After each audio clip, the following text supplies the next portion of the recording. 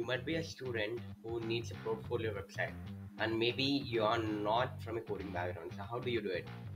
Let's build a portfolio website using Synoppy under 30 seconds. So first things first, go to synoppy.com and sign up.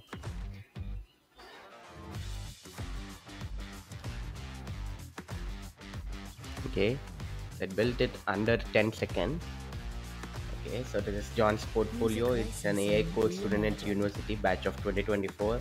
His achievements are Winter University AI Hackathon, Dean's Scholar, research paper publication. He has a score of this.